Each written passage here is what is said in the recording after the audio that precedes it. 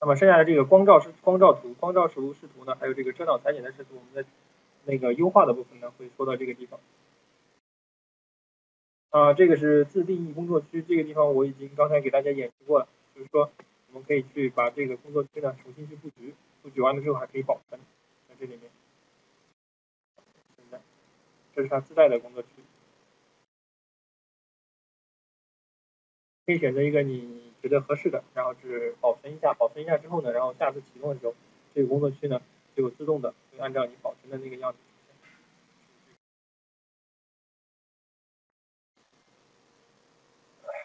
然后呢，接下来我们来详细来看一下这个导入资源，包括他们的一些格式。我这里有一个呃已经做好的一个 PDF。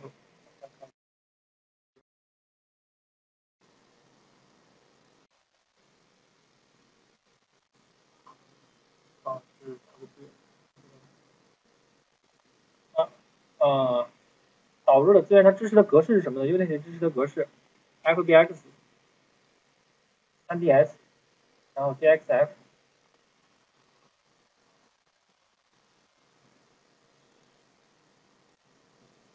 ODG 的，还有 DAE 的都可以支持。然后模型的尺寸呢，我们设置成标准的米，就是说在 Unity 中呢，它的一个单位就是我们在这个地方，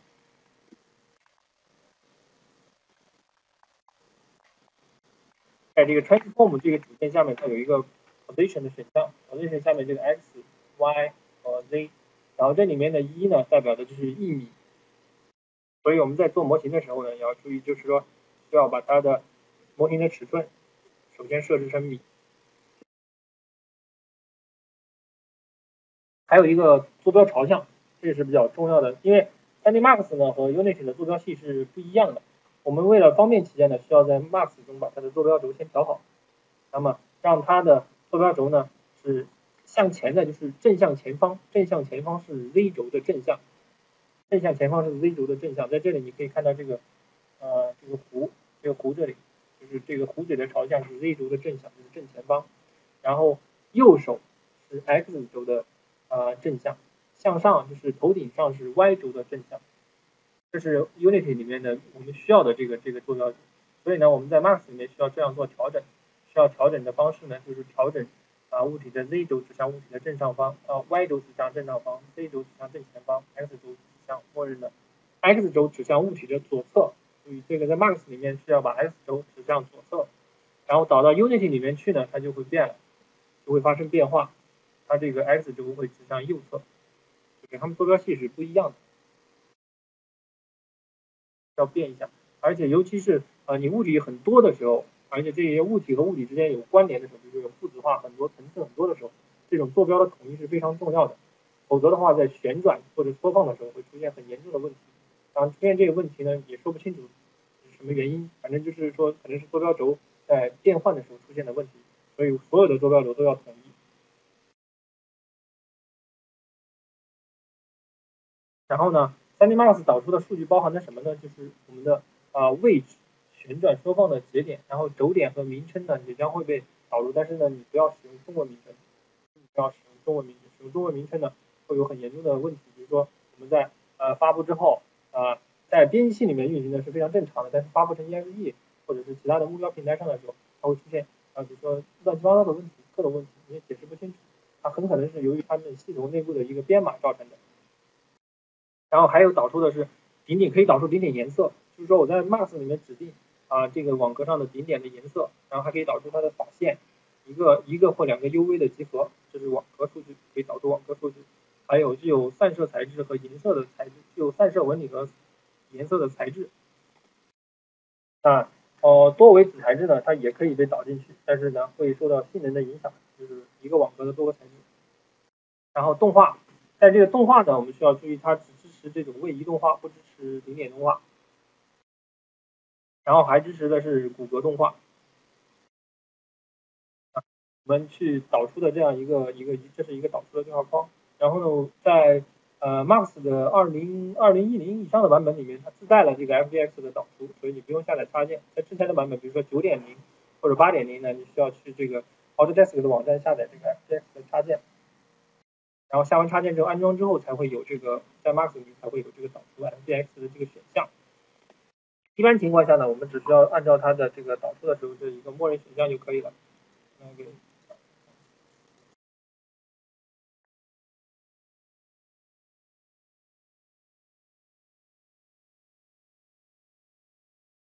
然后我们先看一下这个导出骨骼动画的这一块啊，导出骨骼动画呢，需要说的是就是第一设置骨骼的结构，这个不用说了。如果说你们有做角色的是，它是有一个标准的这个制作流程，制作骨骼结构，使用 FK 或者 IK 来创建动画。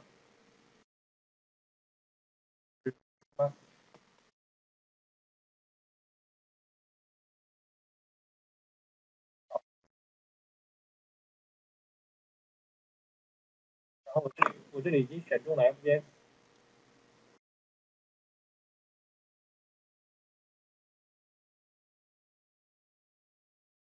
然后这里呢就出现了 FBX 导出对象。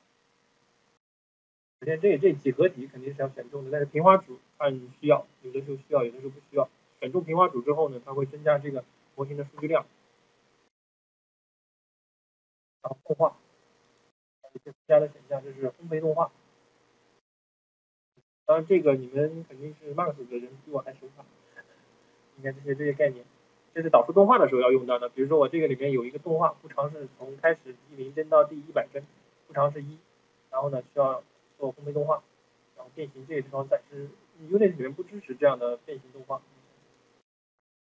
然后摄影机和摄影机的灯光这个不需要导出，所以它默认就没有。然后高级选项单位，单位它自动是米，然后轴转化，这个都不需要动，然后默认就可以了。主要的问题就是说，如果你有动画的时候，动画就需要选中这个烘焙动画，如果没有，你就把它取消掉就可以了。这这是导出插件，然后选中完了之后呢，就确定，然后它就可以保存成一个 FBX。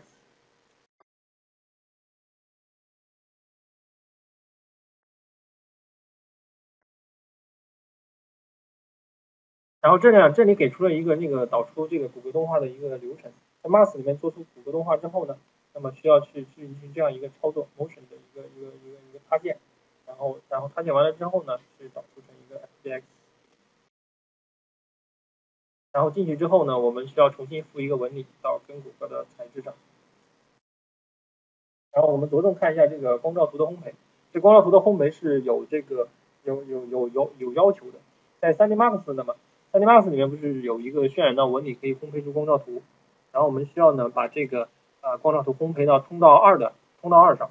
就是单独的一个通道，通道二上，通道二的一个光照图。然后呢，第一个 UV 呢，第一个 UV 级主要用于主纹理，比如说这张桌子它是木头的一个木纹，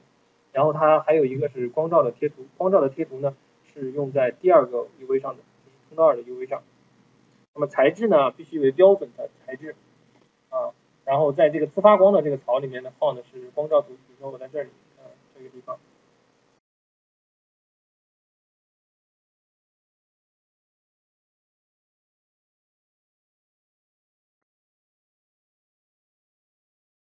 第一层贴图，这是第一层，在这，这是第一层，然后这是第二层，发光，放在这里面，然后呢，但是呢，你这个不能使用壳材质，不能使用壳材质的时候，如果一个物体使用了壳材质的话，那么这个 FBX 就认不能认出来，不能认壳材质。然后你可以使用多个材质，多比如说多维材质啊。是多个材质的类型来设置两个子材质，使用的是主纹理和光照贴图都放在这个散射槽散射槽中，比如说这是 ID 一 ID 二，然后第一个是主纹理，第二个是光照图纹理。那么你使用的多个多个子材质 ID 的话呢，这个是不利于性能的，不利于性能优化的。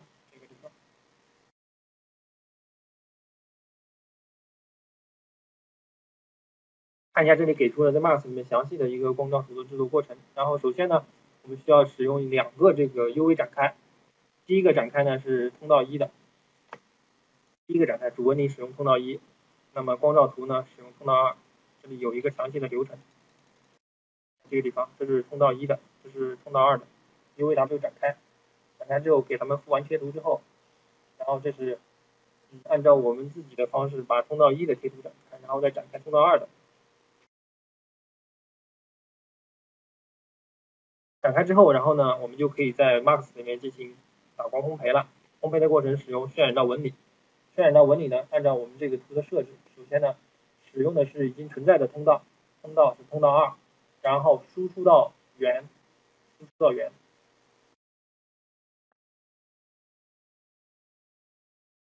下面这个地方，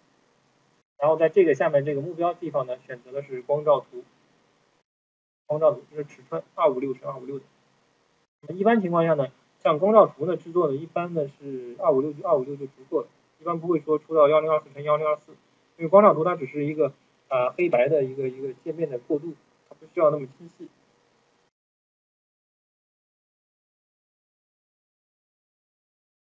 然后呢，烘焙完了之后呢，在物体的材质面板中将自发光的那个将将光照图赋给自发光的这个槽，就在自发光那个槽里面，在这一方有一个自发光，然后这里是那个对应的贴图，然后并确保这个 UV 的映射是二。UV 的映射就是那个通道是二，这样的话呢，我们这个光照图就可以正确的导入了，并且呢，使用的 UV 是正确的。将网格，就是我刚才那个模型，还有那个主纹理，还有光照图，统统导入到 Unity 里面去。然后呢，并且改变这个材质，改变这个地方的材质，就是一个一个一个材质球，它的读色器为带有光照图的一个散射，然后这有一个啊基本的纹理，这是一个。啊，导入后，呃，光照图，然后呢，将光照图直接拖进来，然后我来演示一下这个过程。那么这里有一个简单的提示，就是说我们可以使用这个微锐或者是 m o n t r a y 的渲染器来得到更好的光照图的效果，因为它那个微锐啊或者 m o n t r a y 比那个这个扫描线要更快一些，它的效果也更好一些。在光照图的时候呢，如果这个我们出的时候呢是幺零二四乘幺零二四的图，当然这个也没有问题，可以放进去啊。但是呢，它占用的资源会很大，所以我们通常会去尝试着啊使用五幺二乘五幺二或者是更小的二五六乘二五六的。当然这个是跟这个模型的尺寸大小相关的，比如说一个非常大的桌子，你就不能烘一张这个三十二乘三十二的一个光照图，要给一个大一点的光照图。还有一个问题是我们去嗯，就说。在在在处理这个贴图大小的时候呢，比如说从幺零二四乘幺零二四放到这个幺二八乘幺二八的时候呢，尽量的不要去用那个 Photoshop 去缩放啊，而是要去重新烘一下，或者说在那个 Unity 里面去可以设置这个贴图的尺寸。否则的话呢，如果你用 Photoshop 去改了之后呢，它这个边上的一个接缝的地方呢会有明显的一个痕迹，这个是 Photoshop 里面它那个自带的这个优化处理导致的。然后呢，把较长的物体切开，然后呢不去 UV。这个这个就是里的，然后一个多个物体可以使用同一张光照图，然后一个物体要保证它有一个材质，啊角，那么为了优化考虑呢，那么离得很离得很近的对象，比如说两张两张桌子挨得很近，然后我可以给它一个一个材质，就是一张图或者一张图一张一张呃一张图一张光照图就可以了，连在一起。这里有烘焙，是相当于是烘焙的一个地方。啊，怎么样去烘焙多个物体？还有就是多个物体怎么样去共用一张光照图？当然，这个共用光照图呢，这个需要我们手动去调 UV，先把通道二的 UV 调好之后，然后再来烘焙。啊，通常情况下呢，为了大多数像我们，肯定你们也不会去手动去调这个 UV 操作，手动去来调这个一个模型的 UV，因为这个操工作量是比较大的。但是呢，呃，出于性能的考虑呢，像我们一般有的时候都是都是需要去手动去布 UV，把 UV 布好。然后才会去调，当然这样是比较麻烦，但是性能上会得到很大的提高。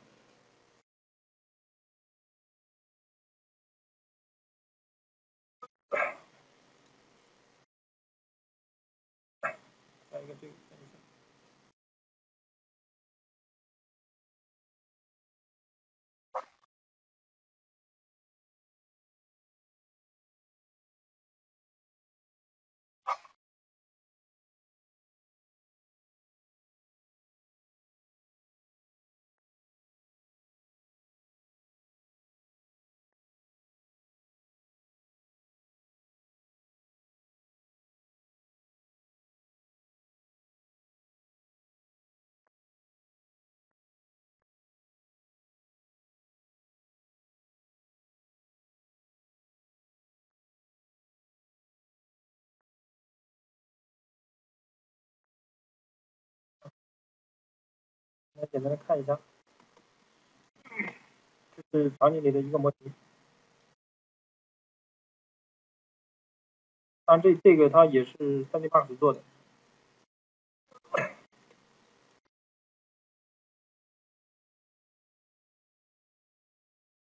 然后在点点中它之后，在属性面板下面就出现了，当然前面这几个我们不关心它，我们先把它收起来。然后这是这个对象的属性，在这个对象的上面呢，它有两个两个材质，两个材质分别使用的就是一个带有光照图的，下面带有光照图的这个散射的材质。选中了这个之后呢，它下面会出现两个贴图槽，第一个呢使用的是通道一的 UV，第二个使用通道二的 UV。通道二的 UV 上放的就是光照图，我们先看一下它的这个效果。嗯，在使用了光照图之后呢，我的场景里没有加这个动态的光源，它会有产生这个阴影。但是你可以看到它这个边缘上，边缘上很清楚，它只能稍微离远的离远看的时候可以，但离近看的时候就会出现这样的问题，就是因为这个光照图的尺寸，呃，分调的比较小。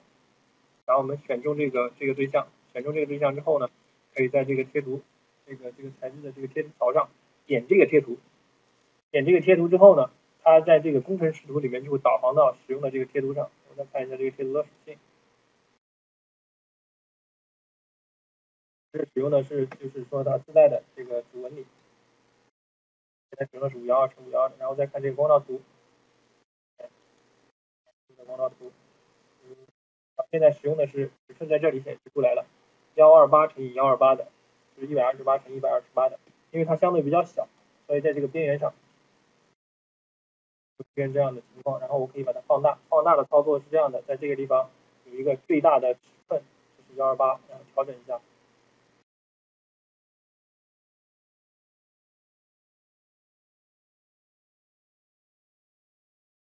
但是呢，有一点就是说我这个贴图呢，必须是五幺二乘五幺二的，或者是比，呃，反正你要比幺二八乘幺二八要大。所以说原来是本身做的图就是幺二八乘幺二八的，然后你要把它在这个地方改成五幺二乘五幺二的，其实它这个也没有什么大的差别。原始图因为那个尺寸就比较小。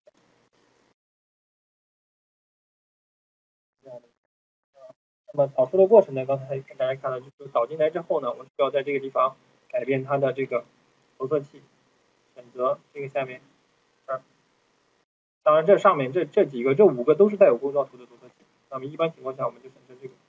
选中它之后呢，就会出现两个贴图槽，然后把它拖拽进去，把这个把这个光照图拖在这第二个槽上，主纹理在第一个槽上，这样它这个模型就完整的显示出来。其他的都是一样的，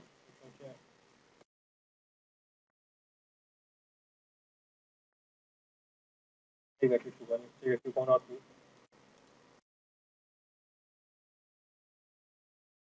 然后这些呢，它为了就是说，我们看一下其中的一个主纹理的图，还有光照图。为了节省性能呢，基本上就是这些图呢都在 Max 都在 Photoshop 里面处理过，然后在 Max 里面需要把这个这是一个发动机的，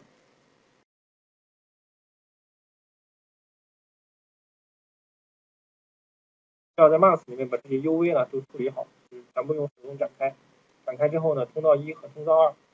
都需要手动展开。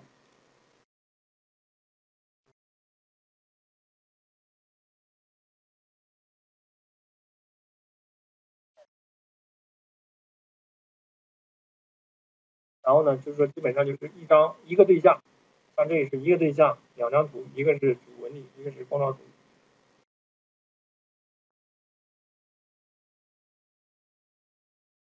当然，这个是比较耗费工作量的。通常情况下，我们都不会去说手动展，都是有的时候会自动展，就是在 Max 里面自动自动展开。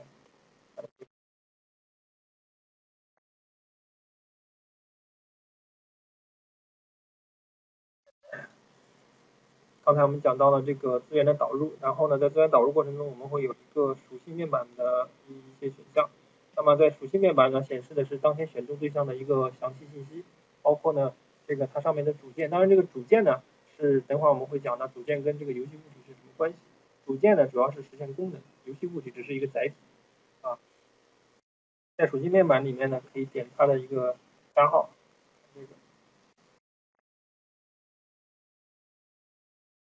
现在我们看一下层次视图里面物体的属性面板，先点一个，这个地方呢，这地方就是它的属性。首先呢，这个名称属性名称属性名和这个那个层次视图里面这个物体的名字是一样的，这没有什么。然后后面有一个勾选项，静态的。所谓静态呢是，就是说出于优化考虑，我们需要确定这个物体在场景里是不是需要移动。如果不需要移动的话，我们就勾选它为静态的。然后在发布的时候，Unity 就知道啊，你这个东西就从来就没没动过，然后就会做一些优化操作。然后下面有标签，还有层，那个这个标签呢，下面可以有有很多种，还可以添加标签啊，比如说添加的标签，name，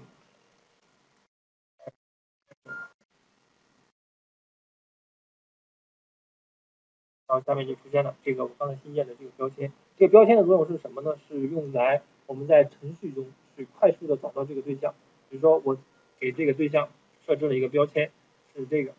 然后呢，我在程序中呢，可以去用一个函数来去找到这个标签物体。当然，你也可以给多个物体这样的标签，它找的时候就是会找到多个这样的物体，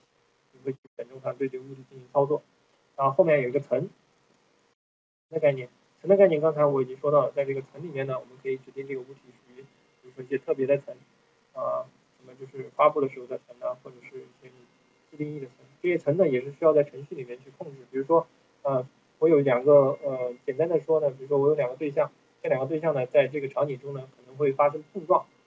然后呢，这个这个碰撞呢，我们需要去设定它啊，这个碰这个碰撞和这个层 A 层和 B 层之间的对象不会发生碰撞，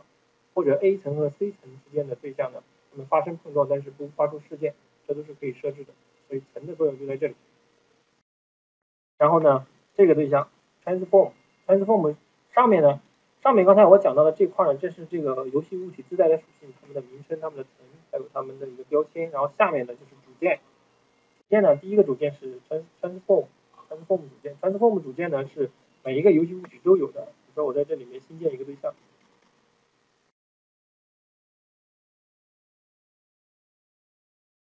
新建一个，新建一个空的。好，这个空物体上面可以看到它有的属性在这里，一个是游戏物体。这是名称，然后是不是静态的？然后呢，这个标签层，然后 transform，transform 是每一个游戏物体必须有的，它代表的是基础信息，包含的是位置信息、旋转信息，还有缩放信息。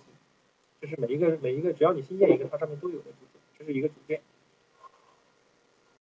啊，你加了组件之后呢，看到它右边有两个小的按钮，这个是帮助，点击它的话，它会弹出这个帮助。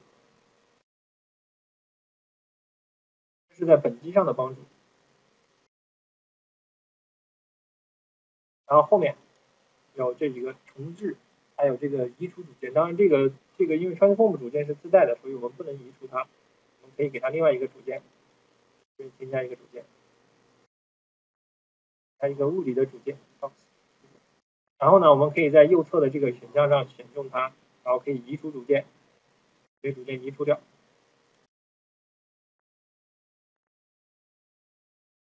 这是这个啊，在层次视图里面这个对象的这个属性面板。然后呢，呃，更为复杂的是后面这个工程视图里面所有的这些资源的属性面板。我们简单看一下。首先，我们从刚才我们说的资呃资源那里看起，还有贴图，贴图，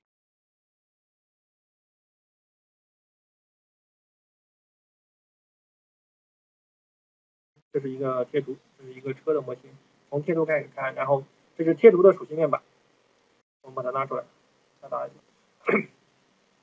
默认的属性面板是这个样子的，就是说我们导进去的贴图，导进去的贴图，然后在这里点它的时候，右边的内容都是一样的。我们通过修改，第一个，第一个就是反走样的等级，反走样等级，以多越往后它的反走样的那个力度就越大。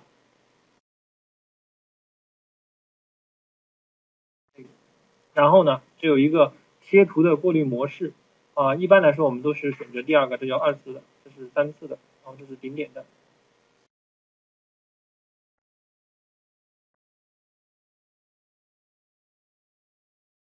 我们来看一下这个不同的贴图导进去之后呢，它的效果是什么样子。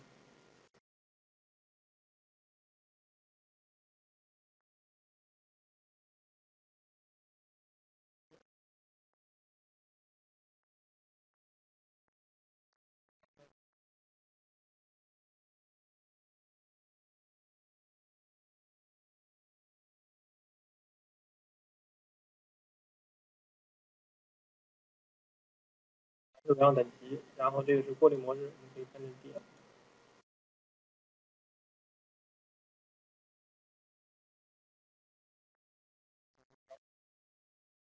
这个时候呢，它就没有一个就是优化的操作，点就是点，就是像素点，全部都是像素点。这一块就标签这里，全是像素点，包括这里，然后你再改二次的，然后它就会有一个渐变的过过渡，它会有一个过渡，并不是那么就是呃明显，然后有个模模糊的处理在这里。然三次，点点的时候。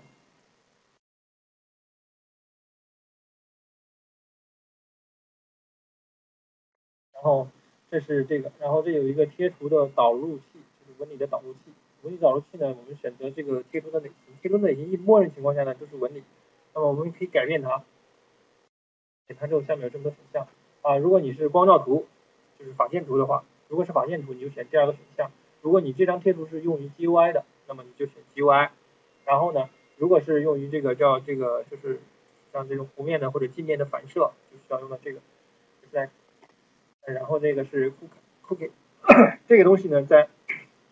做投影的时候会用到，待会我们会讲。然后是不是光照图？如果是光照图的话，就选这个选项。看一下，主要看一下这个高级，因为高级里面包含了上面所有的选项。看一下这个高级，这个选项比较多。然后第一，呃，这个选项是不是要生成这个二的幂次方？因为在那个对于显卡来讲呢，我们处理贴图的时候，一般都会处理成一个二的幂次方。显卡它会自动的把这个贴图，比如说你呃可能是三十乘乘三十的一张贴图，显卡会自动的把它扩展到三十二乘三十二。那么这个过程呢是是需要耗时间的，所以我们通常在做贴图处理的时候，大多数都已经提前处理好，把它处理成二的幂次，比如说三十二乘十六的、十六乘二五六的等等的这样的一些一些尺寸。这个是，如果你是不是要产生一个 Q map，这个 Q map 用到的主要是像天空河呀这种类型的东西在里面，它里面有若干种类型，比如说一个球形的映射、球形映射，一个柱状体的映射，还有这个简单的球体等等的一系列的。然后呢，读写启用读写，一般来讲呢，我们只是读读这张贴图，然后在程序里面呢，可以去把往这个贴图里面写东西，比如说这个贴图的某一个像素，我需要用程序去改变它，那么你就需要在这个里面去启用它。比如说读写的启用，然后呢，这个呃生成一张阿尔法，生成一张阿尔法的贴图，我可以勾选它，它可以自动生成一张阿尔法的这个图流，还有阿尔法通道，阿尔法通道就有了，把它取消掉，然后这个阿尔法通道就没有，它会就是说有些时候我们这个。在做图的时候，它没有带阿尔法通道，那么我们可以使用这种方式呢，在程序里面自动的为它生成一个呃阿尔法通道。这时候，这就是这个时候显示的这张图呢，是阿尔法通道。点它的时候呢，这个显示的就是 RGB。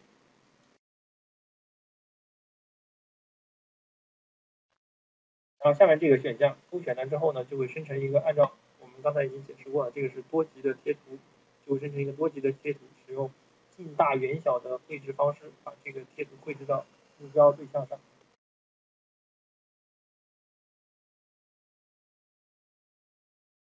然后这里有一个消失的等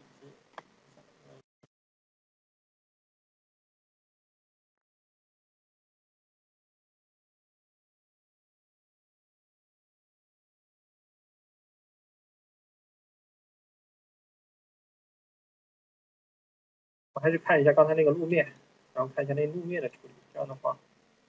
较明显一点。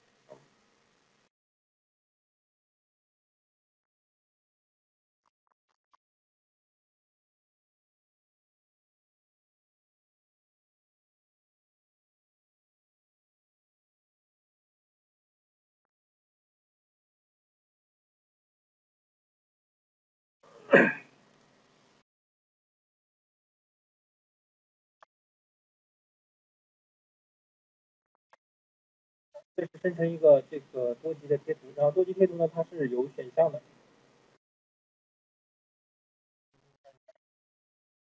生成之后呢，这个多级贴图在远处有这样的现象，然后我这里有一个最重要的是这个地方消失的等级，我可以在这里播放。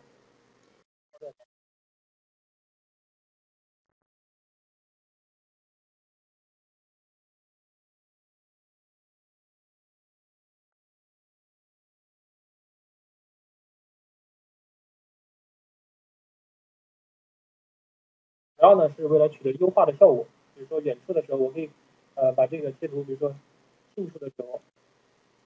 较近的地方它就已经用了较小的贴图。就是说它这个呃拖放这个的目的呢，是为了设置它这个每一个等级在距离多远的时候会显示出来。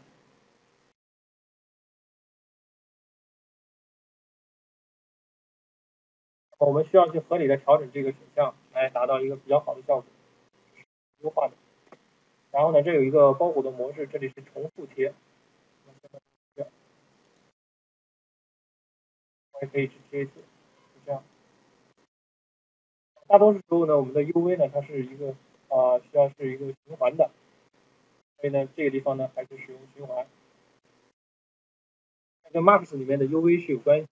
那么有的时候呢，我们会使用这个循环，有的时候只能使用这个。比如说我们在天宫盒处理天宫盒的贴图的时候呢，就必须使用这样的一个方式。啊，获利模式我们刚才已经说到了，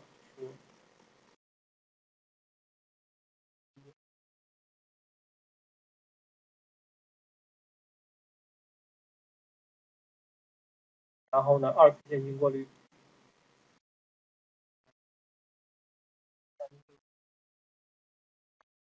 下面呢是贴图的大小尺寸，啊，我们可以呢，在那个 3D Max 或者是 Photoshop 处理的时候，我们可以给它一张较大的贴图，就是做模型的时候，比如说五幺二乘五幺二的，然后在 Unity 里面呢，我们去给它进行处理，把它变小。假如说原来这张图是原来这张图呢是五幺二乘五幺二的，我现在把它缩小成二五六，这样的话呢，它占用的这个啊数据量就比较小，然后打包之后，它的整个占用的在磁盘上占用的空间也比较小。但是呢，你要考虑这个性能和这个可见度。比如说这个现在就是三十二乘三十二，然后它就肯定是不能被接受的，所以我们就需要给它调整调大，它就调到幺二八乘幺二八，或者是调到二五六乘二五六。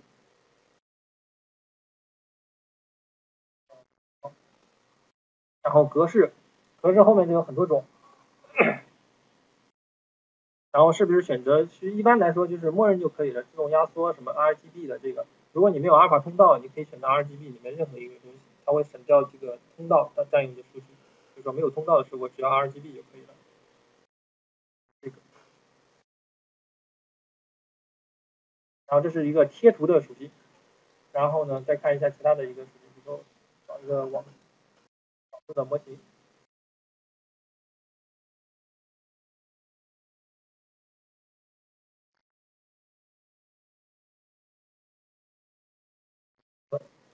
啊，这是一个车的模型，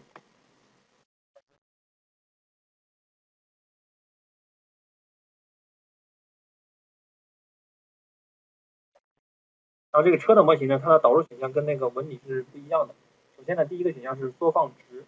那么缩放值是一，我们这里设置成一，因为在 Max 里面我们做的是一比一的做出来的。那么你们打开这个 Unity 里面在导入一个模型的时候呢，它这个地方默认是零点零一。一般来说需要把它改成一，手工的把它改成一。然后呢，第二个选项是不是要启用这个纹理的压缩？然后默认是关闭的。然后你可以选择，这里有一个低压缩度，还有中级加中等的压缩度，还有一个高级的高比较高的这个压缩度。当然你压缩度越高，它就那个数据的损失量就越大，这是必然的，对吧？所以呢，呃，一般情况下我们都会选择关闭，尤其是大家在做什么 VR 呀。或这些方面都会要选择把它关闭掉，然后后面有一个优化网格，这是优化处理的。然后呢，生成碰撞器，生成碰撞器这个选项呢，基本上就是处于在物理的那一块，我们会讲到这个生成碰撞器，就说这个呃网格导进 U N T 里面去呢，它不会自动的和其他的物体发生碰撞。如果说你要让它想让它自动的和其他物体发生碰撞的时候呢，就要勾选这个选项。然后呢，这个是交换 UV。交换 UV 呢，就是把通道一和通道二的那个 UV 啊，他们手动的去换一下。然后有的时候呢，我们会用到它，是因为我们在烘焙处理的时候可能会有一些问题，所以说就需要交换一下，看看它是不是正确。然后这个生成这个光照图的 UV 呢，它是 Unity 里面自带的。当我们在使用到这个呃 Unity 里面的这个，比如说今天说到的这个光照图视图来进行场景烘焙的时候要用到。它会自动的对这个模型上的那个光照图的 UV 呢做一个生成，生成之后呢，有了 UV 你才能去在这个 Unity 里面进行烘焙。然后这是这，然后下面呢这是法线和切线。法线，一般来讲呢，我们这个法线呢，在 Max 里面就都已经有自带，就是法线。那么呃，正对着我的那个面呢，就可以看可见。法线正对着我，我就可见；法线要是没有朝向我，我就看不见这个面。然后我们通过从 U 的从 Max 里面直接导入就可以了。然后当然它可以自动计算，可以自动计算。然后还有一个问题是切线。通常情况下呢，我们都会认为这个只要有法线就可以了。但是实际上呢，这个切线也是非常重要的。切线是用在什么时候呢？切线是用在我们在有这个模型上有这个凹凸贴图，也就是法线贴图的时候，有光照进行的时候，使用这个呃要使用这个切线，必须要有切线。然后默认的时候是自动计算。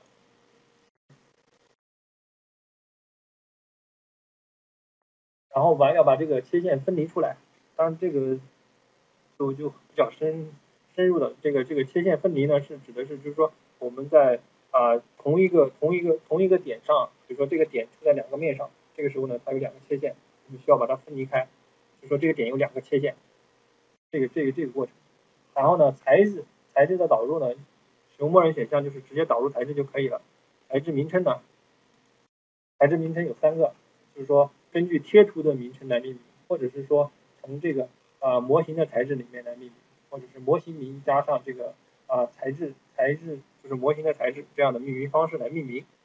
就可以了。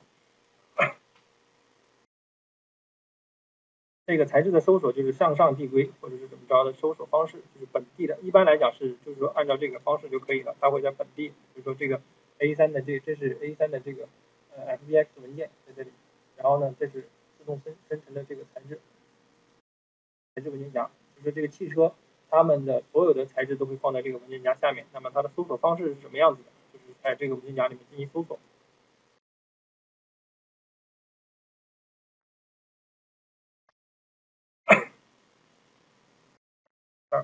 然后接下来呢是这个动画，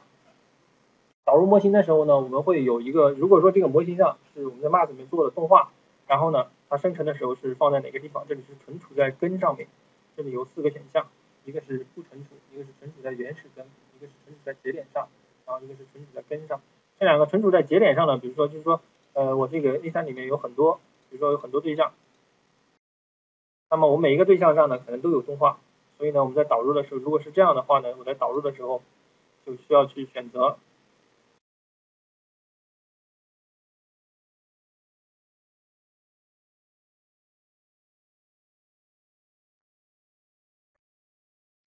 导入的时候呢，就需要给它一个，在这个地方选择存储在根节点上，存储在节点上，这样呢，它每个节点上都有一个动画的组件，然后才能控制每一个节点的正常运动。呃，然后这里有存储在原始根上，所谓存储在原始根上的时候呢，就是说在 Max 里面，我们有一个对象，这个对象下面有很多子物体，然后这个整个下面这块做了动画，然后我就把整个动画呢放在这个存储在这个 Max 里面的这个根上面。但是还有一个地方，就是上面有一个存储在根上。所谓这个存储在根上呢，是指的是我们在导入的时候，比如说我这个 A3 在导入的时候呢，嗯，这个 Unity 会自动的为它去创建一个根对象，当然它是空的，什么都没有，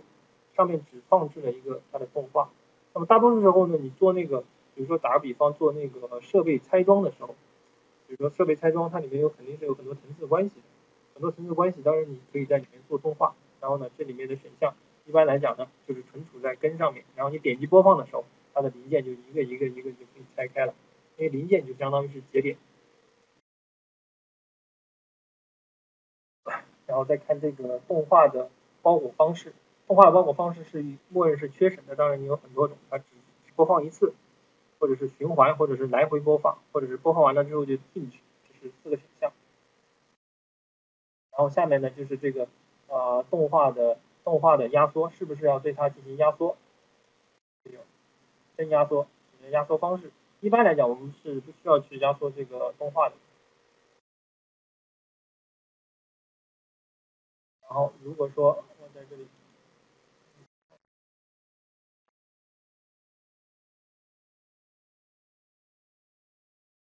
这还有一个选项，就是这里有一个分离动画。那么我们在做动画的时候，比如说我做一个人物。假如说我做一个角色，啊，他有行走、跑、跳，还有站在那里不动的时候的一个，比如待机的状态，还有好几个动画，我们可以把这好几个动画呢做在一个 Max 文件里面去，然后就说一个时间线有可能有很长，比如说两百帧的时间线，然后呢，我们需要在这个地方进行拆分。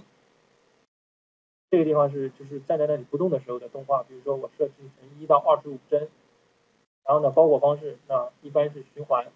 然后这是第一个动画，然后呢，再加一个行走的行走动画，接下来是从刚才是一到二十五，现在是从比如说二十六到一百帧，是行走动画，当然这个需要跟这个建模的人员去沟通，呃，你得告诉他。说你得问他们，就是程序得问建模的，说你这二十六到一百帧之间是什么动画，就是行走，然后你就给它动画循环，这样子，整个这样子，整个就是把一个动画分成多个动画来处理的。这是这个为什么要这样做呢？是要在程序里面去控制它。比如说人站在那里不动的时候，你就播放第一个动画，然后人走的时候播放第二个，比如说跳的时候播放第三个动画，就是这样去处理，就是这个方式。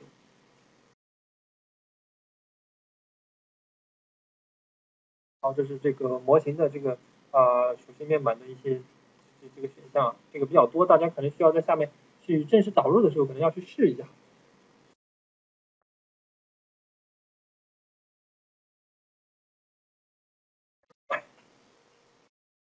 然后还有这个是音频，音频点击音频之后呢，它会出来这个这有一个属性面板，在这个这导入的选项，那么这里有一个预览播放。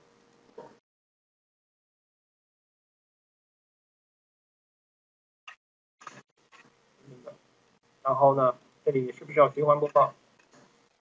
啊，我们看一下，逐一看一下这个，前面这个选项是不能不能改的，就是自动的。啊，有些就是说这个格式不对，这个格式上是可以的。音频的格式这是 WAV，然后呢，它是不是 3D 音效？3D 音效呢，就是在三维场景里面生成那种立体声的效果。比如说，你可以听见啊，这个东西在左侧，可以。完全的听见这个这个东西在相机的左侧或者在相机的右侧是立体声。如果你不勾选它的时候，它就是一个二 D 音效，它就一直在一直响着，就说你分不清楚它在哪里，就一直在响。然后这里是不是需要强制它为单通道？就是我现在是两个通道在这里，通道一和通道二，它们是生成立体声的。然后我们又给它强制成单通道的，然后就成一个通道了。这个时候呢，这个时候呢，它的这个占用的数据量就比较小。还有一个是加载的类型，那么它的加载类型呢，是指的就是说我是要呃在使用到它的时候再去从磁盘上读呢，还是说一开始的时候我就把它加载到内存里面？那么默认的选项就是直接加载到内存。然后第二个选项呢是用到的时候再从磁盘上去读取，就是流式的从磁盘上读取。下面这两个选项它是自动的去设置，咱们不用管它。然后这个地方呢是一个压缩比，我们需要可以设置它的压缩比，这样它的尺寸呢就会变小。我们可以看到原原始的大小是二十五、二十八、二十八点二 KB，然后你把它压缩，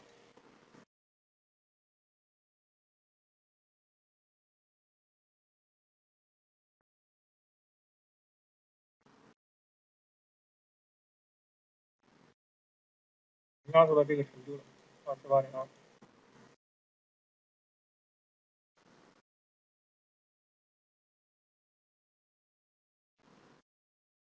老大的音频，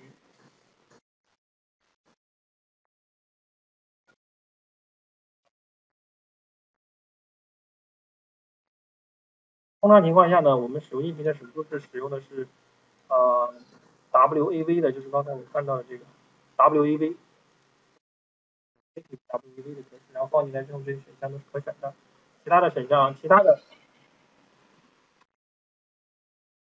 其他的格式呢，比如说像 MP3 啊这种的，很多选项是不可以选的，就这个选项可以选，就是这个。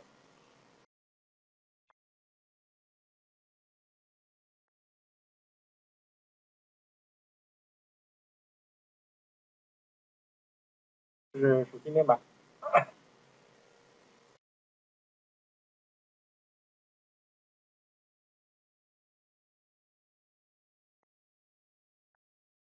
这个地方呢提到了一个值和引用属性。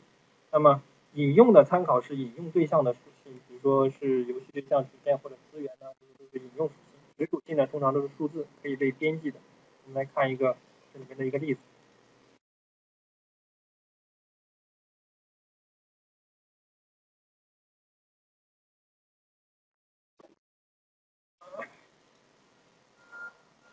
然后呢，在这个我这个游戏物体里面。是 Game Controller，这是游戏的游戏控制器。然后在这个它的属性里面呢，我有一个主件叫游戏控制器的主件，它里面有脚本，这个是脚本，就是引用的脚本。然后这里有一个变量，我看一下，我可以修改它，点开之后可以修改，等等做一些其他的操作。然后这个变量呢，我们是不能修改的，但是选中它之后呢，你会看到在层次视图里面，它会指向了这个啊 main camera，就是指向了这个对象。这是两种类型的两种类型的变量，那么这个变量叫做值引用。值属性就是值，它就是一个数值，你可以改变它。然后这个呢是引用属性，这个这个是引用属性，就是引用了这个层次里面的一个对象。当然我可以通过这种拖拽的方式选中它，然后拖拽来改变它，改变到这儿，它就变了。还有这里，这都是引用属性，都是。那么引用属性是用来干什么的呢？比如说我两个两个对象需要交互的时候，比如说我要通过当前我选中的这个对象，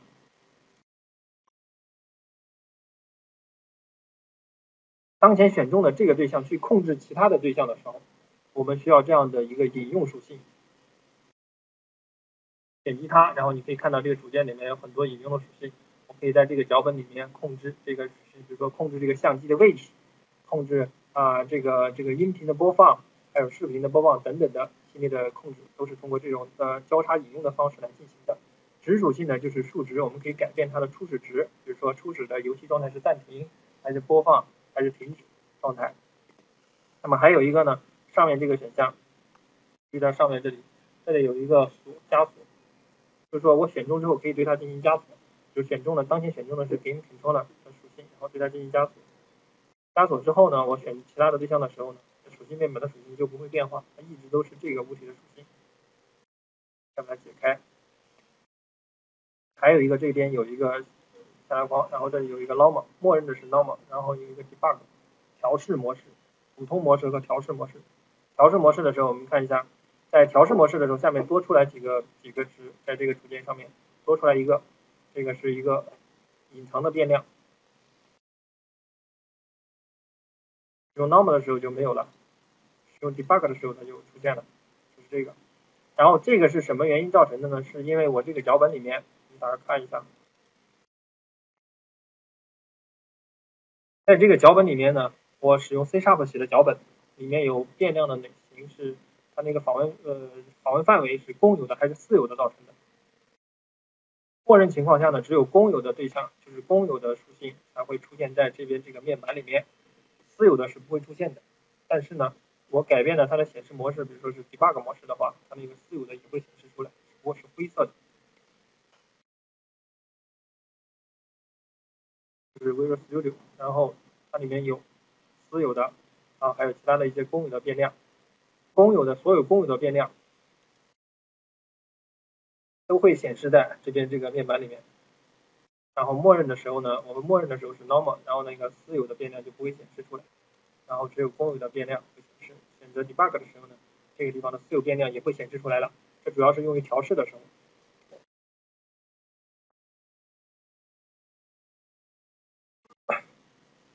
呃，值属性呢，通常是不引用任何东西的，它就是一个数值，你就可以把它理解成一个数值，比如说零一二三四五六七八九十这样的数值，然后呢。呃，数字、开关、颜色、字符串都可以是这样的值属性，可以给它指定。然后呢，引用属性呢，所谓的引用属性就是我刚才看到的，可以引用去其他对象、其他对象上面的一些属性，包括这里的，比如说这是其他对象，有一个音频播放器，就是这样的，来引用过来，你相互操作。然后我们看一下刚才我们说到关于这个这个控制台 debug 的消息。那么控制台主要是用来显示游戏的这个消息、警告、错误或者调试输出的。我们这里新建一个工程，来看一下这个啊，开章程。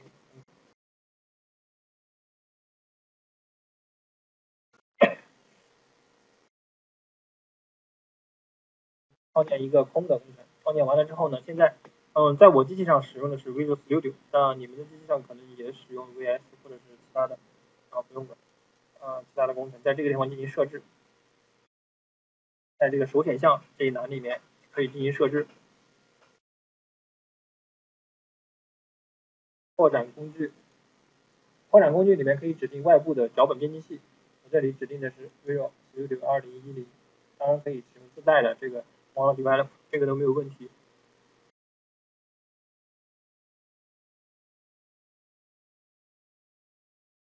然后新建完一个工程之后呢，然后我们在这个 Search 这个这个这个下拉菜单里面选最后一项，然后同步到这个 Model Develop 的工程。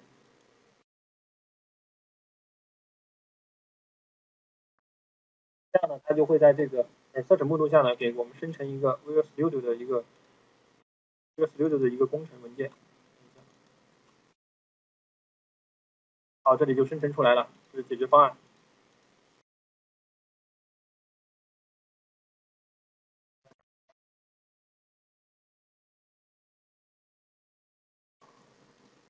直接从这里打开，新建一个。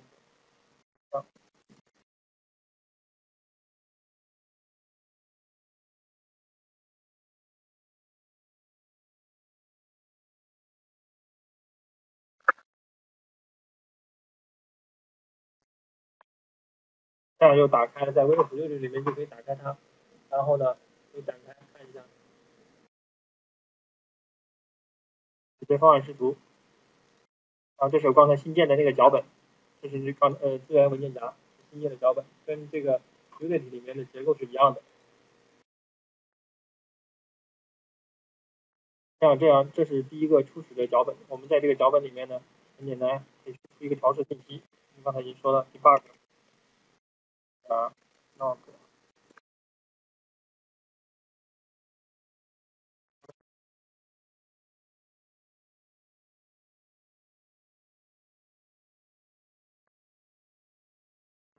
然后这样，这个脚本就编写完完成了。我们的目标就是在系统启动的时候输出 Hello World 这个字符串。这个时候呢，我们脚本是写完了，但是这个时候它还不能运行，为什么呢？因为它没有。没有把它没有把它放到这个程式视图里面去，就是说没有在游戏游戏这个里面正式起作用，所以我们需要新做一个游戏物体，创建一个空的，然后这里我给它改一个比较易懂的名字。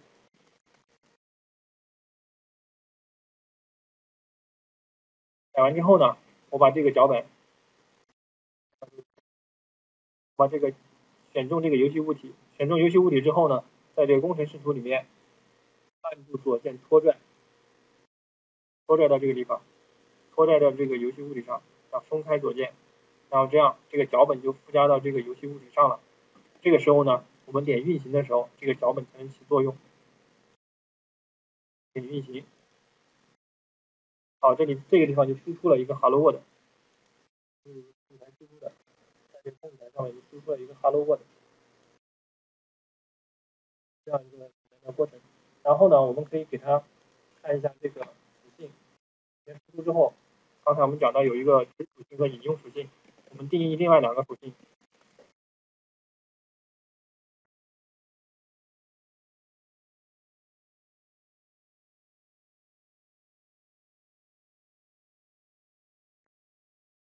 定义这个这是一个值属性，我们看到它是一个 int 型的，在 C# 里面。然后定义完之后呢，我们保存一下，然后切换到 Unity。这个时候呢，这个脚本的脚本组件这个下面就变化了，这个地方就多出来一个公有的一个变量，我们可以使用鼠标来拖拽，鼠标拖拽来改变它，改变它的值。当然这里没有任何用处，它只是一个改变，一个演示。然后呢，为了有这样的一个效果，我们再给它一个属性，就是一个引用属性。所谓的引用属性，比如说。transform，transform 呢，就是我刚才给大家说的，transform 是每一个游戏物上都自带的一个组件。那直接引用的时候呢，就直接 transform，然后呢，我给它一个变量零。好，我们再看一下，在切换到 Unity，这个时候呢，它就又出现一个这个东西，就是一个 target，然后需要的变量的形式 transform。然后呢，我们在这个里面，啊，先把这个场景视图，我需要在这个场景视图里面新建一个对象，我们简单新建新建一个 cube，好，这个 cube 放置在这儿了。然后呢，我需要去，我需要让这个，我刚才让这个东西，让这个变量来控制这个 cube 的移动。那么我们所要做的操作就是把这个 cube 拖拽到这个变量的这个这个这个主线的这个变量上面，然后松开鼠标左键，然后这样呢，这个引用就完成了。也就是说，我可以通过这个脚本来控制这个 cube 的一些属性。我们来试一下，在 transform 里面，比如说我这个。我们把它的 target 的 position 的呃 y 值 y 值等于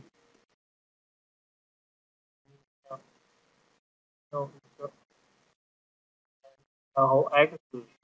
y 的值 y 的值让它使用这个 a 的值是零，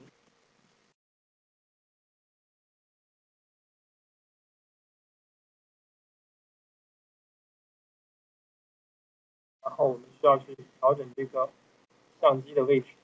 调整相机位置有一个简单方法，就是我在这里面找准一个相机的角度之后呢，选中这个主相机，然后在这里面有一个对齐到对齐到视图，这样的话呢，在游戏物体里面看到对象跟我现在这个是一样的。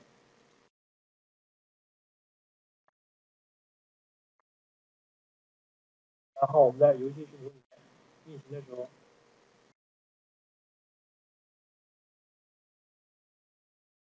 还有一个初值是零，然后我在这里面可以拖拽它，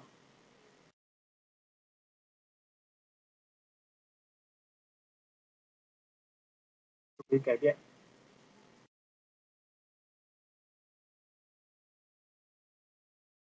然后停止它的时候，这个值又恢复到原始状态了。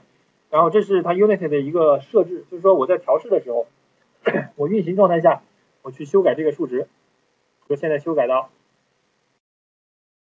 修改到负七的时候，它这个比较下面，然后停止的时候，一旦停止运行，这个值就会恢复到初始状态。那么我们可以在可以在在在一个布局的过程中呢，就是调试程序的过程中呢，我们在运行模式下对这个值进行修正。比如说我现在觉得，哎，这个三这个值是我想要的结果，然后呢，我给它停掉，然后再需要在这个停止模式下把这个值变成三。然后你在运行的时候，它就在这个值的位置上，这是这个需要注意的。很多时候，那个我们刚开始的时候去处理的时候，很多时候都习惯于在这个播放模式上去调整这个值，调整完了之后，这个一停止之后，它又恢复到原始状态了。就是它是 Unity 里面自动设置的，这个都没有关系。控制台的输出。那么控制台输出呢，还有一个重要的。重要的一个非常重要的步骤呢，是这边有一个最右边，右边可以看到一个是一个打开这个编辑器的这个呃 log，这是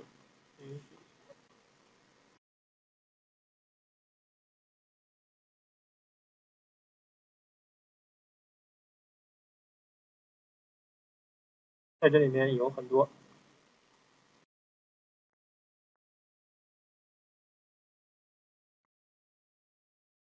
那么这个文件什么时候用到呢？就是我们在发布的时候，发布成最终目标平台的时候，我们可能会用到它。用到它的目的是什么？是用于优化。比如说你发布了之后呢，它所有的这个使用的数据都会在这个文文本文件里面进行记录。比如说这个贴图用到了哪一张贴图，贴图是多大？用到了哪个音频，哪个音频是多大？然后你看到这个数据之后呢，你会对他们进行有一个有一个认识，说这张贴图可能太大了，说这张一张贴图可能占了三四兆，那么我就需要对这张贴图进行优化。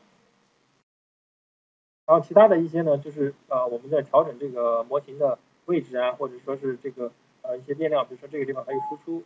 好了 Word 的输出等等的一些内部的一些调试信息，都在这里面会出现。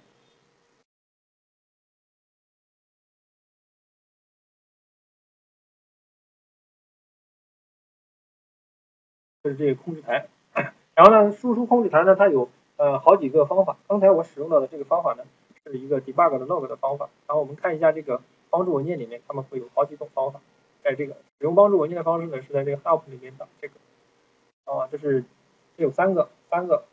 根据你的使用的不同，你可以打开其中任何一个。第一个呢是手册操作手册，第二个是呢组件的引用参考。所谓组件的引用参考呢，是指的是讲解的是这个里面这个呃菜单下面的所有的这么多选项，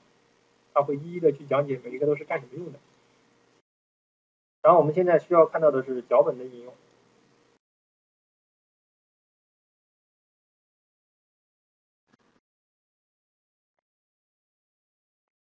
打开之后，我找到刚才那个我用到的那个 debug 的类。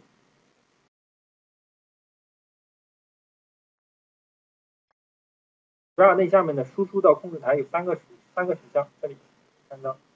输出到控制台，这是记录消息到 unit 的控制台，这是第一个刚才我用到的，第二个也是一样的，记录一个错误消息。第三个是记录一个警告消息。它们的区别呢，只是说在这个前面的这个图标显示上面有不同，是在这里有不同。然后你可以比如说这个错误啊，或者是清除这些这些的，其他的都没有什么。这个控制台。是这个功能的，这里就是一个标签的操作，是最大化呀，还是关闭啊？主要的是用在我们调试的过程中，需要输出的时候。控制台，这个像场景中添加资源，刚才我们已经就是说已经已经已经演示过了。那么只需要从这个工程视图里面拖拽一个东西，放到这个层次视图里面，或者直接放到场景里面就可以了。是一个呃一个一个非常简单的操作，只需要拖拽就行了。我们还有一个问题就是说，呃，网格还有纹理，呃，贴图还有纹理还有那个什么音频的属性呢，都需要放到一个空的物体上。那么我们看一下这个，等会我们要看一下这个它们之间的关系。常用之间自然之间的关系。那么呃纹理呢，就是一张贴图呢。它会被放到一个材质球上，然后呢，材质被放到了这个游戏物体上，也就是我们的游戏对象上。但是这个游戏对象上呢，必须带有网格，能够渲染出来的网格。然后呢，动画，动画被放到这个游戏物体上，但是它需要带有动画的组件。那么声音也是被放到游戏物体上的。所以我们看一下这个游戏物体和其他资源关系，其实就是说，呃，游戏物体呢。非常非常，就是说非常抽象的来讲，就是说它相当于是一个盒子，空盒子，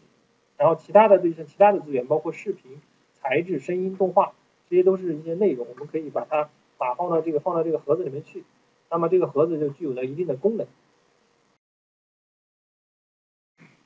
然后我们看这个预设。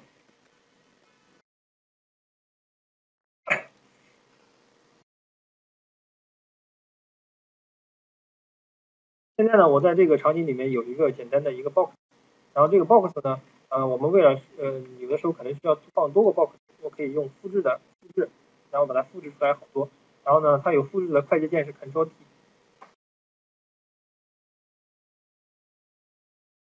然后可以选中，这样按住 Shift 在这个程序组里面进行多选，多选完了之后呢，再按 Ctrl D。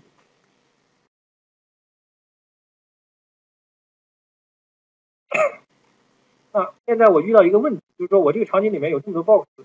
我程序的，比如说根据需求或者怎么着的，我同时需要修改这所有的 box，该怎么修改它？当然你可以多选来修改，多选来修改这些属性。那么最简单的办法是做一个预设。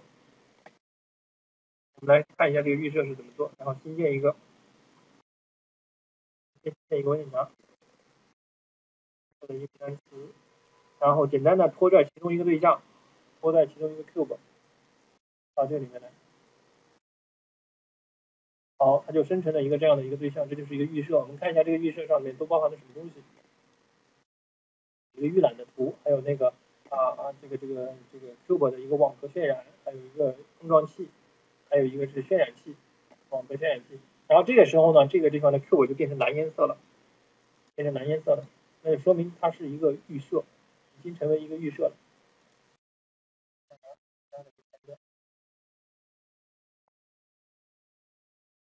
进行复制，然后这个时候复制过来的全是蓝颜色。那么蓝颜色代表的是说啊，这个对象和一个预设有关联，和一其中一个预设有关联。然后呢，我要修改的所有这个物体，比如说所有的这些物体上呢，我只需要点它，然后去修改整个这个对象就可以了。我们呃把它的其中一个组件去掉，去除掉其中一个组件，就是预设的一个组件。移除掉之后呢，看一下，然后它对应的所有的物体上的那个组件都被移除掉了。这边，当然我也可以添加，啊，又添加了一个另外的一个组件。然后这里就出现了，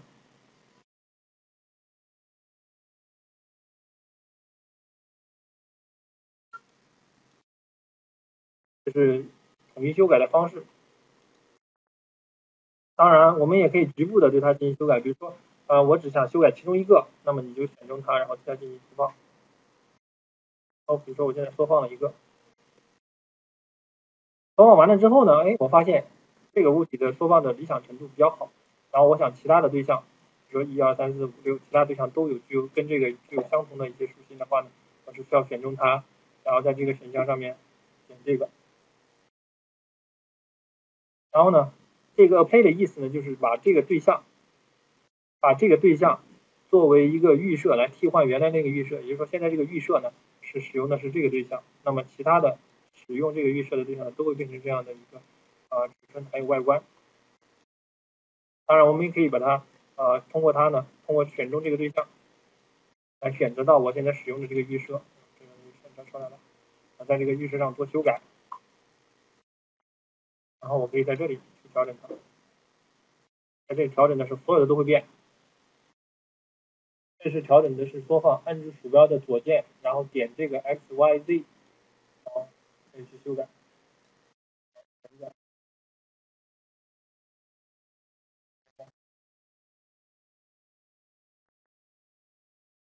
这样的，这就是这样的一个预设的操作。那么我们看一下这个预设的概念。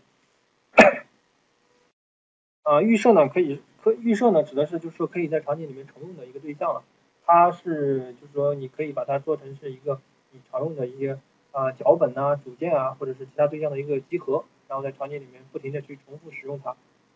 那么只要呃如果说你一旦要对这所有的对象进行修改，就是要修修改预设就可以，把这个预设一修改之后呢，场景里面跟这个预设相关的呃对象呢都会发生相应的变化。那么刚才我们这个。创建预设的过程，我使用的是一个比较呃简便的过程。那么呃给出官方给出的创建方式是这样的：首先呢，呃选中这个选一个文件夹，就是我要把这个预设放在哪个文件夹下面，然后点击右键，出来创建的第一项菜单上面有一个预设，预设出来了之后呢，给预设起一个名字，说。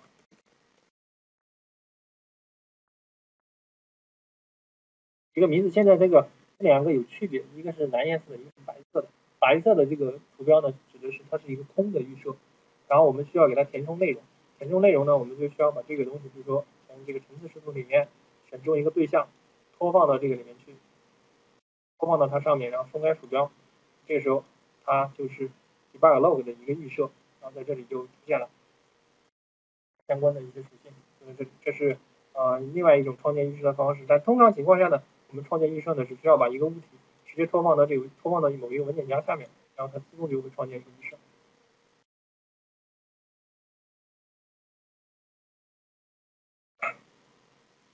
好，刚才讲到了这个游戏物体，看一下这个游戏物体实际上是一个容器，它可以容纳不同的模块。我们所说的这个模块呢，其实就是组件。那么在组件上，我们可以放置它的呃纹理呀，还有那个呃网格呀。还有这个去其他的一些什么光照啊这些东西都可以放置在上面。它的组件，组件是 Unity 里面的一个比较重要的概念。这个组件呢，它是物体的行为，还有一些一些一些其他的功能的核心。比如说，我可以在上面放置物理的组件，放置音频的组件。放置音频的组件之后，它就可以出声音；放置物理的组件，它就可以具有物理的行为。比如说，受到重力的影响，受到摩擦力的影响，就是这些物体。然后呢，所有的那个游戏物体都有一个变换的组件，这是必须要有的。因为变换组件主要是表示这个对象在什么位置上，旋转是多少，缩放是多少。如果说是没有这样的一个变换组件的这个物体呢，在这个三维世界里面呢，就相当于是没有坐标。没有坐标的话，那它就没有任何意义。所以说呢，基本上都是需要有一个这样的一个 transform 的一个组件。那么我们通常所说的脚本，就是刚才我写了一个脚本。刚才我在这个地方新建了一个脚本。这个脚本呢，在呃 Unity 里面，它会被作为一个呃自定义的组件，其实它也是一个组件。那么我们的操作方式是一样的，需要在这个里面把它拖拽到这个游戏物体，就相当于是拖拽的过程，实际上就相当于是把这个脚本放置到一个这个 GameObject 的一个容器里面去了。这样的话呢，就会呃影响到这个 GameObject 的行为和功能。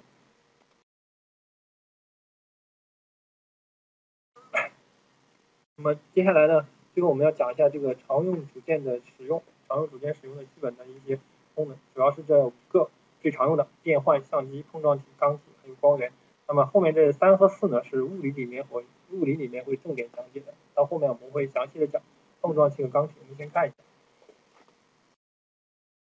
还是这个场景。那么变换组件我刚才已经说了，在这个变换里面呢，有 Which、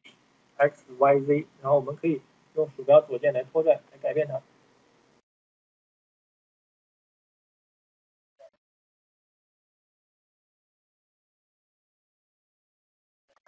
上下和左右拖动都可以。按住 Shift 键，按住 Shift 键来拖拽的时候，它会变得更快，就是说这个数值变化更快。不按的话，它就慢。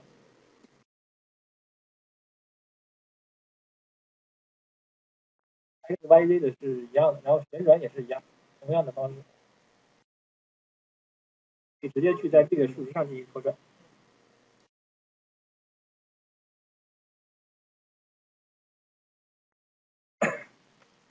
这是这个变换组件，所有的对象都有这样的一个组件。然后我们看一下这个相机，首先看一下我们上面放了相机的这个对象，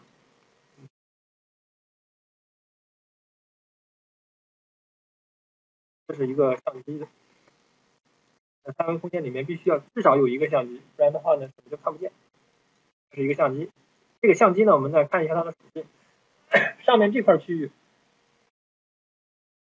这块区域呢是每一个游戏物里都有的，一个是名称，还有一个是它的 transform 的组件。这个 transform 组件刚才我们已经说到过，然后就不用再说了。它主要是对于相机组件来讲，其实主要是位置还有旋转角。那这个缩放呢，基本上是没什么用的。相机而言，主要是旋转还有位置。位置的变化呢，将会影响到我们看到的这个相机视图里面最后渲染出来的那个啊的的一个效果的。变化，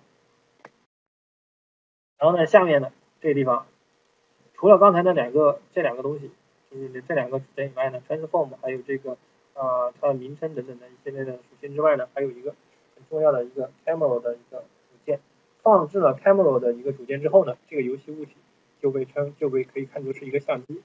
我们可以再新建一个，我们先新建一个空的对象。这就是我新建的一个空对象，它的位置啊，然后给它添加一个相机的组件，让它成为一个相机，然后呢，在这个组件里面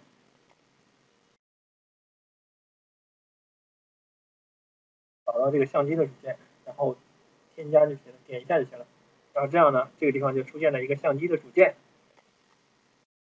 然后可以看到这个相机的标又出来了，现在场景里有两个相机。把这相机定位一下，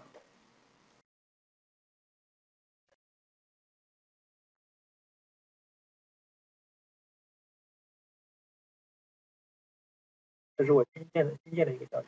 在这场景里面有两个相机，我把其中一个相机禁用掉。禁用的方式是这样的：然后点击这个原来这个相机，点中之后呢，在它的属性的右上角，右上角有一个对勾，把这个对勾去掉，可以了。每新建一个场景的时候呢，Unity 自动会给我们生成一个相机，它的相机的名称都是一样的生成的，就是 Main Camera 就是相机。然后我们看一下我们新建的这个相机，这个相机上面呢只有一个组件就是 Camera，嗯，Camera 里面它们有很多选项。第一个选项是这个清除的一个标志，清除标志是什么样的？就是远处的对象是用什么的样的形式来清除的？这个时候啊，看一下，我们先给它一个，给它一个这个。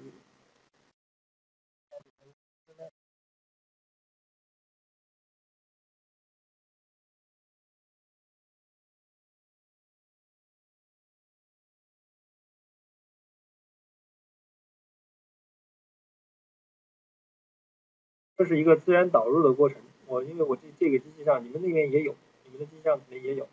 点开这个资源的属性之后呢，有一个导入包，导入包这个过程，就说下面有这些包，这是 Unity 自带的，你可以把它们导进来。导进来之后呢，在这个地方就出现了。这个视图里面我导入了一个天空盒，然后呢，我可以指定这个场景的这个这个场景的天空盒，在这个选项里面，再设置。渲染设置里面这个地方有一个天空盒的材质，我们给它一个天空盒的材质，给它之后呢，你就可以看一下，在这个显示出来这样。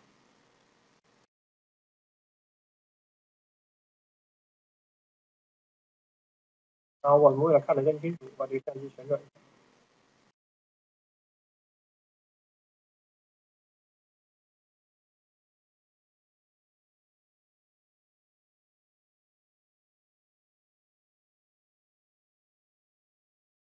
下面这个地方就有一个相机的预览，就是最后看到的样子是什么样子，就是一个相机的预览。然后呢，这个地方有个清除标志，这个地方出现了呃有天宫盒，因为我刚才放置了一个天宫盒，所以啊，那么你看到的这个最后的预览，这个后面最后面是天宫盒，当然我可以用实体的颜色，点一下之后，它下面就变成实体的颜色。然后深度，是绘制深度，是绘制深度，还有那个呃不清除呢，都是用。与多个相机的时候，出特效的时候。然后呢，这个背景颜色呢，只是用在这个时候。实体颜色就是说清除标志用实体颜色来清除这个缓存的时候，我们用什么样的颜色来清除？那么你改变它的时候，下面这个相机的预览这个地方就会发生相应的改变。还是把它换到天空盒啊这样的。然后那个裁剪的蒙版。裁剪的门板是指的什么呢？就是这个相机能看到哪些东西。那这个门板是从哪里来的？是层里面的。比如说我这个对象现在都是缺省的层，然后呢，所有的物体都是缺省的层，所以它在里面呢都能看得见，所有的物体都在这里。然后我可以改变它的裁剪，裁剪门板。现在呢是呃显示显示所有的东西，然后把这个。缺省的去掉，勾勾选掉。那么最后呢，这个相机这个物体是在场景里面存在，但是相机看不见了，这就是裁剪蒙版的作用。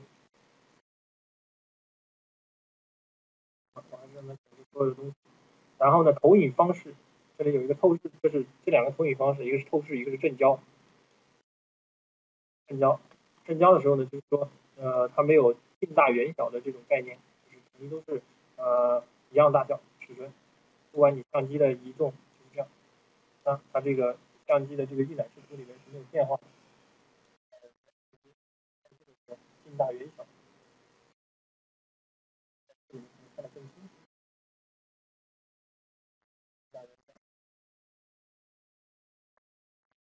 然后这个视域，这是六十，现在是六十度，也就是说它是出了一个夹角，就是这个夹角，看到这个线之间的夹角是六十度，我们可以把它扩大。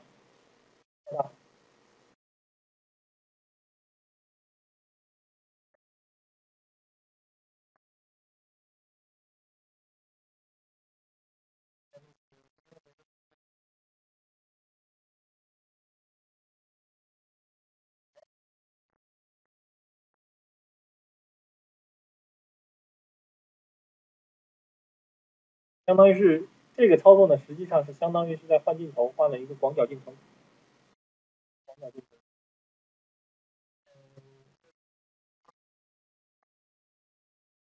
嗯，对。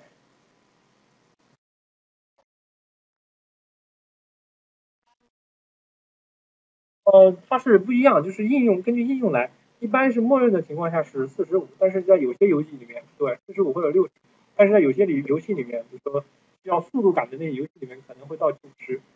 都有可能九十或者九十多。它这样做呢，是因为这个呃广角增大了之后呢，左右两侧那个景物呢就会呃滑动的很快，所以有速度感。这个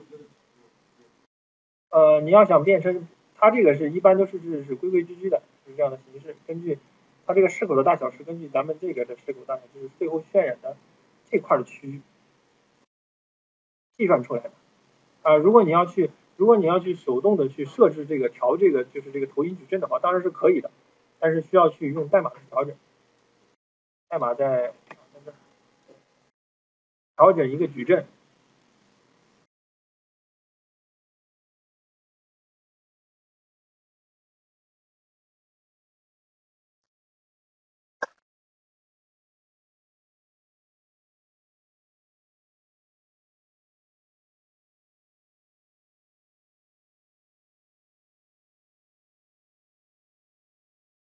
投影矩阵，这儿。那么我们可以去修改这样的一个相机，相机组件下面它有一个这样的属性，就叫做投影矩阵。改投影矩阵，手动的去修改投影矩阵的话，就会出现你想要的一个说那种效果。这里呢就是，这是一个四乘四的矩阵。啊，投影矩阵的这个概念呢，可以在网上查一下这个投影矩阵，它里面有视口，那些相关的比例，就是宽高都可以查到。只要修改这个投影矩阵就可以了。是这个，接下来我们看这个，啊，这个这个这两个值，一个是近裁剪面和远裁剪面。然后呢，所谓的近裁剪面指的是这边这个面，远裁剪面是这个面。所有的所有的对象，就是所有显示出来的对象都是人人。只能在这个里面，就是说在这个位置里面，在这个叫什么叫什么叫什么体，在这个范围内的对象才会被显示出来，在这个范围内的对象都会被裁剪掉，看一下，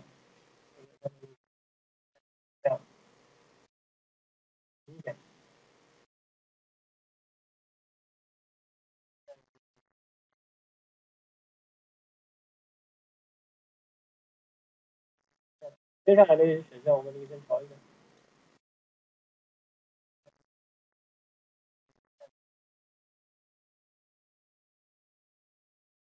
接下来的一个选项是规范化，是叫做规范化、规划、规矩化视口矩阵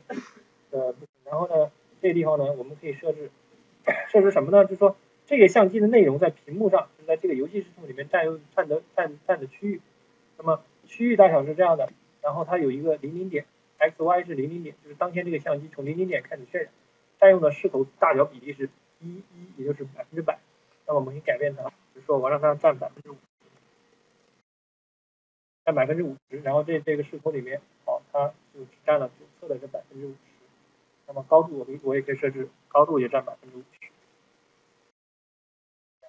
然后呢，我们再做一个相机。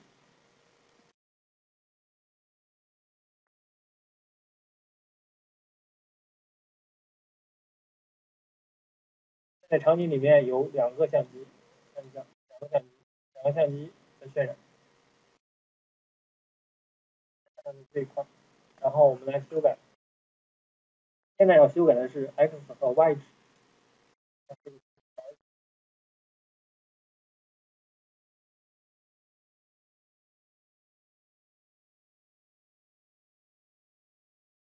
零点五点。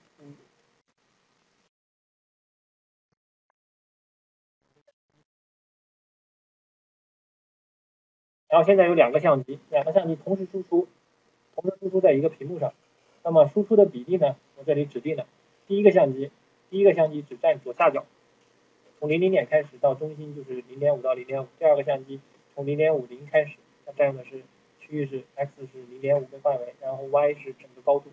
然后呢，可以看一下调整的时候，它们会有相应的变化。调整的第二个相机。然后这里调整第一个相机，然后这个地方呢就是边界，零点五的边界。然后这里有一个深度，深度的概念呢，就是刚才我们说的这个有一个深度的指指指指清楚深度，深度呢，比如说我场景里有两个好几个相机，好几个相机呢，我要叠加在一起渲染。现在呢是分开渲染的，就是左侧有一个，右侧有一个。如果我要叠加在一起渲染呢，我要指定它们的渲染顺序。就在这里指定零一二三，给一个整值就可以了。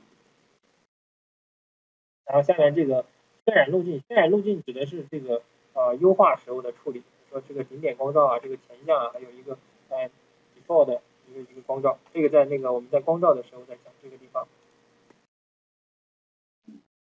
然后下面这个选项是渲染到纹理的一个选项，来看一下这个选项，什么叫渲染到纹理？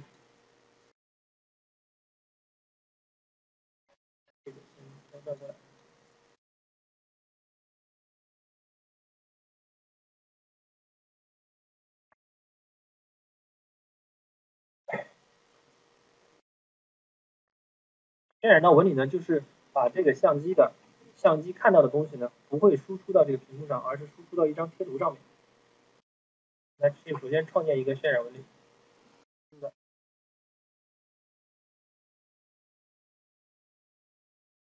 的，然后找到那个刚才这个层次视图呢，把这个渲染到纹理，拖拽到这个地方来。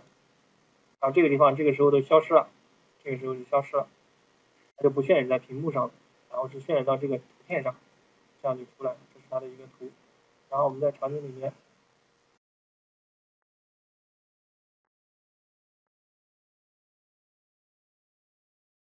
把这张图锁定，然后在场景里面，相机，我在场景里面去移动这个相机的时候。这张贴图的内容也会发生相应的变化，那么这就是渲染到纹理。当然，我们可以把它把这张渲这个渲染到纹理的这张图呢，当成是一个啊普通的一张贴图来处理。我们可以把它贴回到一个物体上，来看一下。现在有一个对象，直接拖放过来，好，现在就出来了。我们把相机对看这个地方，然后去移动这个相机。然后把这个相机锁定，相机锁定之后，我移动它的位置。那么这个模型上贴的这张贴图发生了变化，所以这个模型的材质就发生了变化。动的时候，嗯，对，基本上就是这样。然后首先渲染到纹理，然后把它贴回去。对对对，就可以了。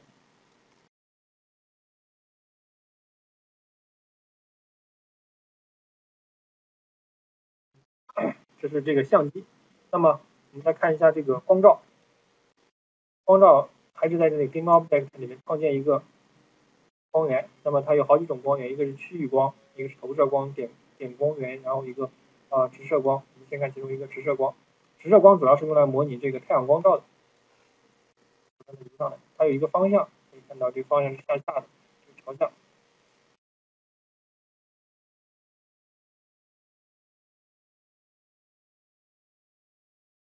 我把这个里面的图像直接删掉，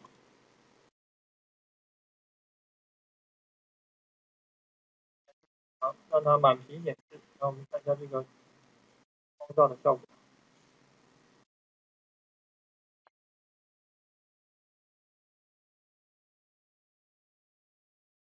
这是没有光照的时候的一个样子。打开环境光。然后我可以调整这个光源，它的强度还有颜色，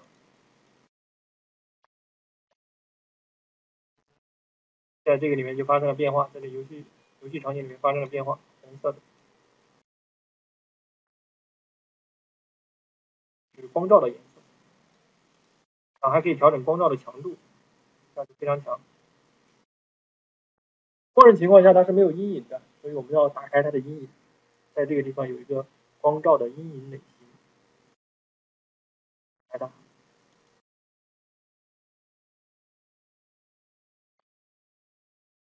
的，然后看一下它这个眼睛，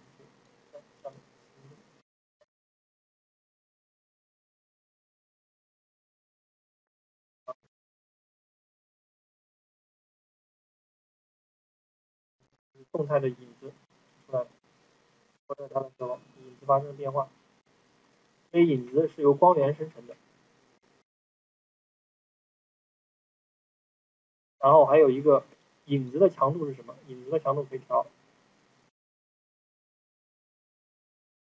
调整。那么影子它有两个选项，一个是软的软化的阴影，还有一个是硬的阴影。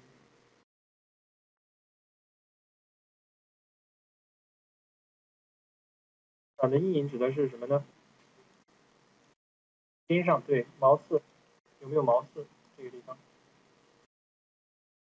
然后它的解析度，阴影的解析度，因为它的阴影是实时计算的。实际上呢，在这个所有的三维软件里面，它的阴影计算的都是基本上都是用相同的方式，就是说从这个光源附近，首先放一个相机在这个光源上，然后还放着光源的朝向。放了光源朝向之后呢，他们会计算每个物体之间的遮挡，最后生成一张贴图，然后再贴回到每个物体上去。所以实际上影子是一张贴图，所以它这里可以设置贴图的解析度。解析度的设置，比如说质量设置高解析度还是低低解析度的。效果这里使用的是非常高的解析度，那么它的阴影就非常的好。然后较低的时候，较低的时候它的毛刺就比较严重。当然，你这个精度越高，对机器的性能就要求就越好。然后这里偏移量，这个偏移量只是用在多个阴影叠加的时候，你可以调整一下，看一下它们的效果。到在这里的时候，这个地方，这个地方实际上本来是应该是有一部分阴影的，但是因为它这个面，这个面这边这个面跟这个光源的夹角，跟这个光源的夹角它很小。所以你在调整的时候就会出现这种异常现象，所以有的时候就需要调整这个偏移量，来解决掉这种效果，把这个效果去掉，通过调整这个偏移量去掉，就是软软化度，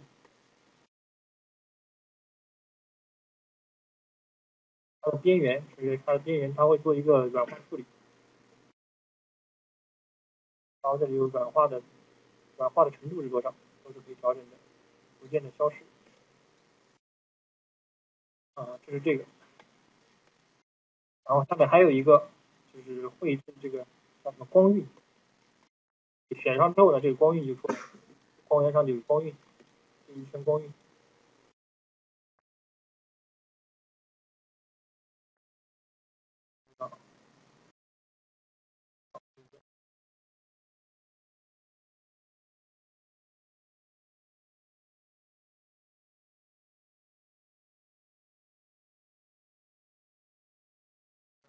啊，有一个镜头的处理，这地方呢，这个是一个镜头的光晕，镜头的光晕是什么呢？在这里播一个镜头看一下。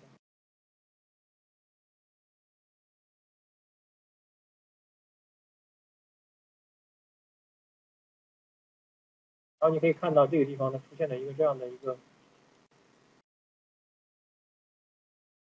相当于是我们在用镜头，就是一般的那个拍摄镜头去看的时候，这里会有一些呃光斑。在这里，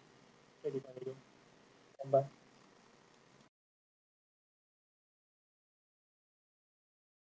这样的一个形式。当然，这里都是为了出特效，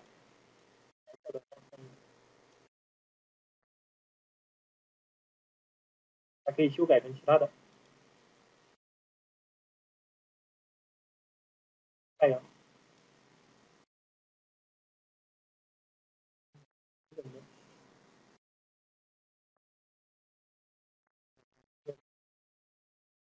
然后对于这个光照呢，我们可以分成以前的时候，这个光照的选项很多，在以前的版本里面有什么顶点光照啊，什么乱七八糟的。然后还有这个现在呢很简单，设置自动或者是重要或者不重要。对于这个光照来讲，你认为它是重要的，然后你就用这个啊选择一个 important，important 之后呢，它会使用一个呃就是一个嗯另外一个着色器，这样呢它会产生阴影。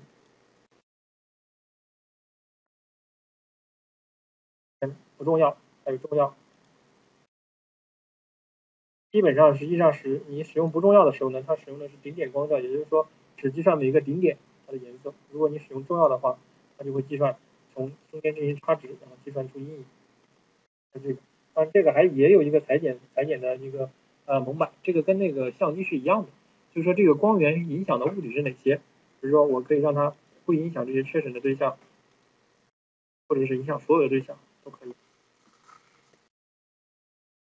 然后这个光照图，这个光照图是在烘焙的时候才用到，在 Unity 里面烘焙光照图的时候才会用到。如果你不做 unit，不在 Unity 里面烘焙光照图的时候，直接就是 Auto 就行了，自动就可以，